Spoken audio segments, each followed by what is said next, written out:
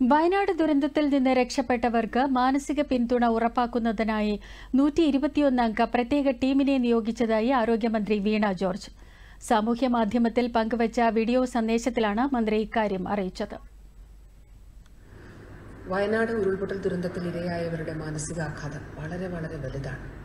കരവലയത്തിനുള്ളിൽ നിന്ന് കൈവിരൽ തുമ്പിൽ നിന്ന് കുഞ്ഞുങ്ങളെ നഷ്ടപ്പെട്ടവർ കൺമുൻപിൽ സഹോദരങ്ങളുടെയും മാതാപിതാക്കളുടെയും മരണം കണ്ടവർ പ്രിയപ്പെട്ടവരെ നഷ്ടപ്പെട്ടവർ അതിജീവനത്തിന്റെ പാതയിലേക്ക് അവരെ നയിക്കുന്നതിന് മാനസിക പിന്തുണ ഉറപ്പാക്കേണ്ടത് വളരെ അനിവാര്യമാണ്.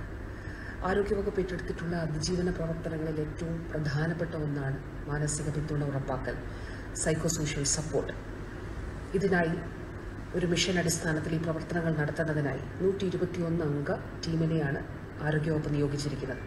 ആരോഗ്യവകുപ്പിലെയും വനിതാ ശിശു വികസന വകുപ്പിലെയും കൗൺസിലേഴ്സിനെ ഉൾക്കൊള്ളുന്നതാണ് ഈ ടീം ഇവിടെ വയനാട്ടിൽ ഇവർ താമസിച്ചുകൊണ്ട് നേരിട്ട് ഈ സഹോദരങ്ങളുമായിട്ട് ആശയവിനിമയം നടത്തുകയും